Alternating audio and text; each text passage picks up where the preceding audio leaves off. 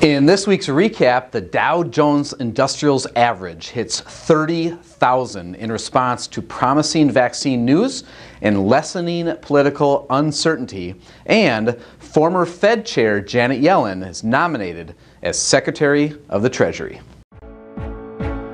Life is too short to worry about what the next headline could do to your life savings. Hi, my name is Eric Hagen, and I keep my thumb on the pulse of the economy and the markets so my clients can focus on the things that are actually important to them. Thank you for joining me the next few minutes on today's weekly economic video update.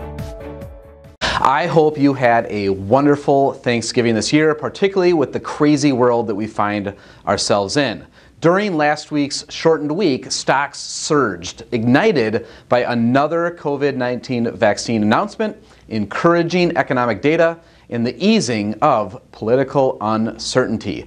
The Dow Jones Industrials Average rose 2.21%, while the Standard & Poor's 500 added 2.27%.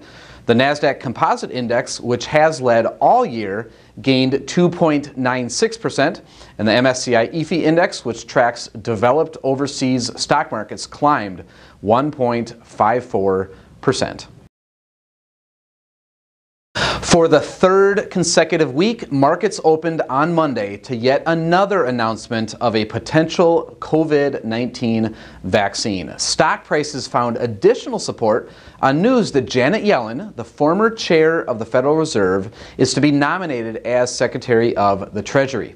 Investors reacted well to the choice, encouraged by her previously voiced support for greater fiscal stimulus and relieved that a candidate less antagonistic to the industry was selected. Positive momentum continued into the following day, driving the Dow Jones Industrials Average, S&P 500, and the Russell 2000 to record high levels, with the Dow closing above the 30,000 milestone.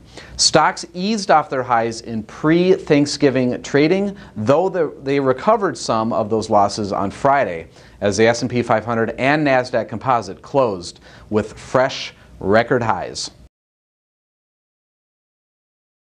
The economic outlook has been difficult to figure out due to conflicting signals. One day it's a historic jump in economic growth, another day it's a record high in new COVID 19 infections.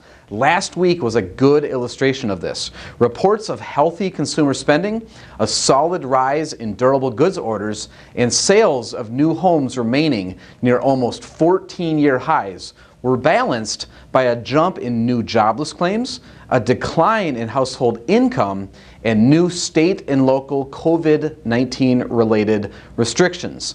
Last week, investors chose to see the glass half full and look past the near term challenges that the economy faces.